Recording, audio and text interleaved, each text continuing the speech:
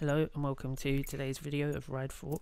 We're going to be taking the Suzuki Katana around the Nürburgring on a rainy lap.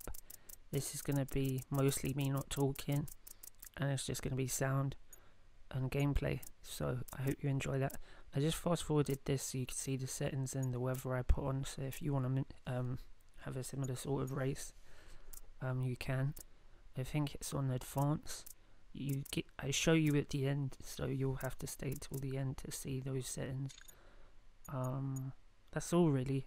I didn't want to say too much I didn't want to go on too much. Before I just let you watch the gameplay. So as this loads up I'm gonna go.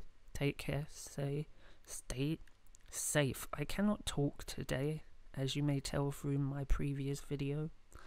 So yeah. Take care of yourselves. Stay safe and enjoy. See you later